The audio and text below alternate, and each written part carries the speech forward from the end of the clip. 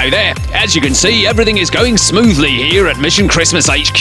It's my job to make sure all the toys find their way to deserving kids across the area, and I need your help. So, when you're out doing your Christmas shopping, make sure you pick up an extra toy and drop it off at a Mission Christmas collection point. You can find out where your nearest one is at radiocity.co.uk slash mission. Right, think I deserve a cup of tea.